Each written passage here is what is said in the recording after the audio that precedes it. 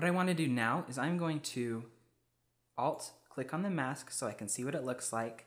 Look at this hair, it looks awesome. This over here looks awesome. Remember the top of the car where it didn't look so great? I'm gonna show you what we can do to fix some of that. Now when I zoom in and out on my tablet, you see these little dots on my screen where my fingers are. Just so you don't get confused, that's what that is.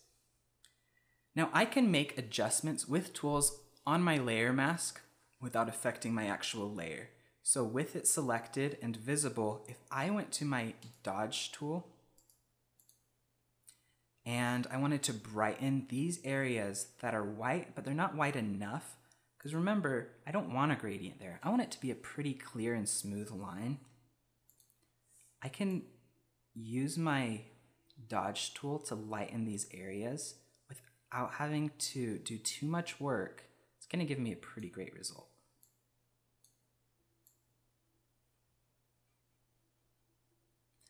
Kind of overshooting it in some spots, but that's okay because I can paint those back out again.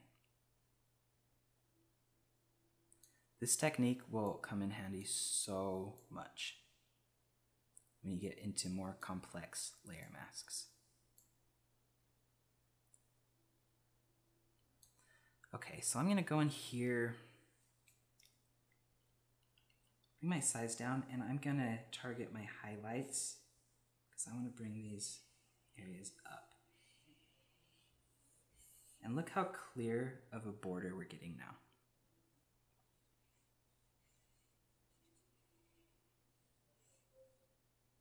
I just want to simply paint this area with white because on my main layer, it wouldn't make sense if that wasn't showing through. And because it's black, the dodge tool isn't going to do much to help with that.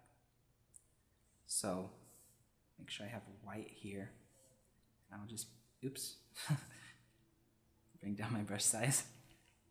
I'll just paint this back in with white. I could paint over my layer with white where I'm going over it with the dodge tool. I could just paint it with white, but doing that freehand might allow me to make some mistakes that I just don't want to have to deal with because I know that I don't have the steadiest hand. I'm going to paint out some of these areas where I added too much with the dodge tool.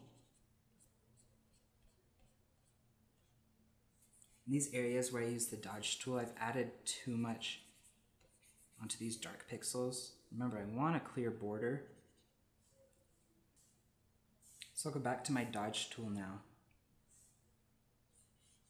Just right over these areas, make it completely white. Then I'll paint with black over these areas They're kind of difficult to see to just get rid of those completely. And this is one of the main reasons any composite photographer will tell you to get a graphics tablet because this would be so much more difficult with the mouse and we want to be able to be as specific as we need to be. All right, now take a look at that border. It looks so much better than before. And if we go to our image, we can see now we just have a clear and smooth border at the top of our car. Now, let's take a look at this hair. I'm gonna use the dodge and burn tools in here. It would be too difficult for me to manually try to paint areas of hair. But if I click Alt and use the dodge and burn tools in here, I'll be able to make these areas so they don't look transparent. So let's go to the dodge tool again. We'll bring the exposure down to like 30. And then I'll just paint over. Hopefully it won't be too strong, won't overwhelm anything, but you can still go over a little bit.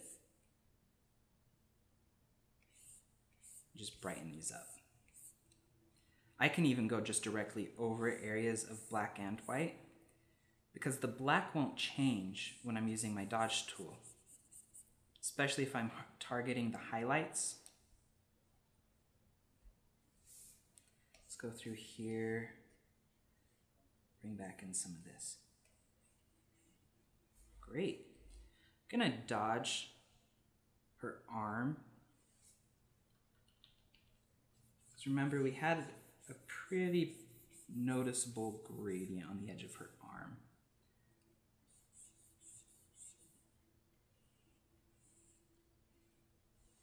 This area looks great.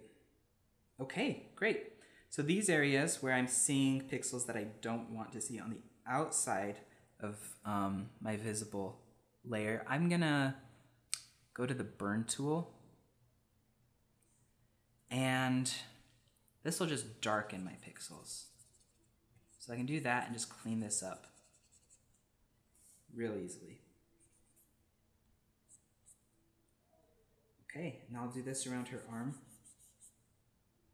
And I'll just go through the outside of my image again with the burn tool and clean it up. Now remember the burn tool darkens pixels. So as I go over these areas, the pixels just kind of on the outside of the white. Just kind of the overflow areas will just disappear. That, and now I can get into her hair. Some of these areas were just a little too much, so I'll just do some brush strokes here. Go back to dodge, clean up this area of her arm.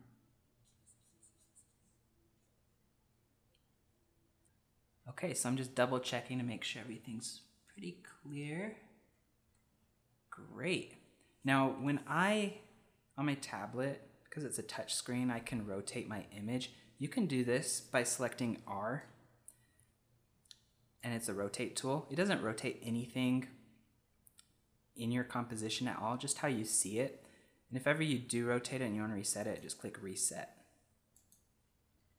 Okay, so let's see how this looks. This is great.